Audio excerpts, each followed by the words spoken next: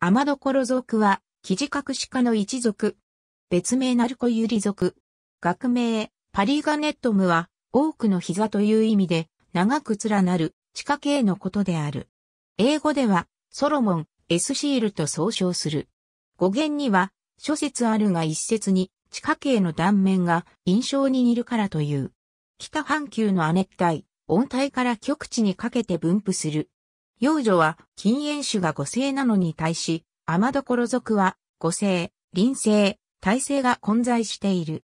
節で言えば、ゼクテ、バートシラタは各種混在しており、ゼクテ、サビリカは輪星、ゼクテ、パリガネットムは五星である。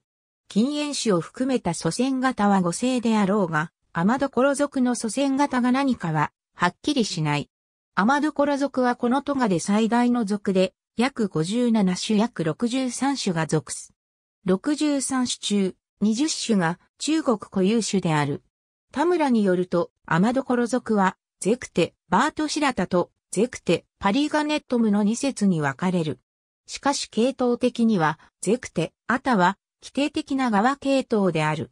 一方、進化的なゼクテ、パリガネットムは、二つの単系統からなる多系統で、ほとんどの種を含む大きな系統と、少なくとも一種パリガネットムファンチェティからなる小さな系統からなる。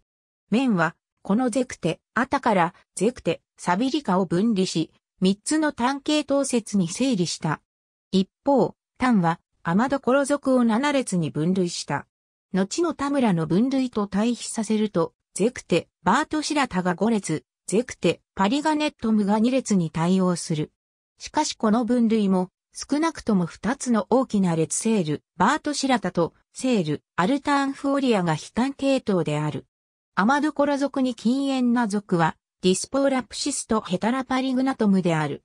大きく、面による3節に分け、それらをさらに、単の列に、おおよそ対応する単系統に細分した。ありがとうございます。